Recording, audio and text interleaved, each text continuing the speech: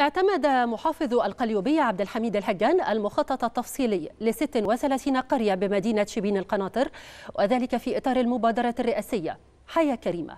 وأكد الهجان أنه سيتم السير في إجراءات العرض على رئيس مجلس الوزراء للتصديق لاستصدار قرار العمل بتلك المخططات التفصيلية التي اعتمدت ليبدأ العمل بعد نشرها بالجريدة الرسمية حيث يتم بالمخططات تحديد عروض الشوارع بالمناطق القائمة ومناطق الامتداد وتوطين الخدمات.